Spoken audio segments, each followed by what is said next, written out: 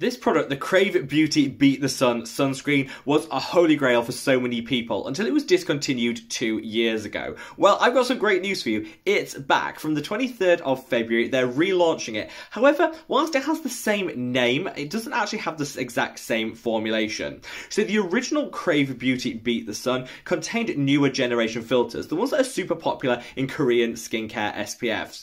However, the newer version is now FDA compliant, so it uses older generation filters, which are available for physical sale over in the US. This makes sense as it's a product that's manufactured in the US, but I think those of you that prefer your modern filters probably will be a little bit disappointed with the change.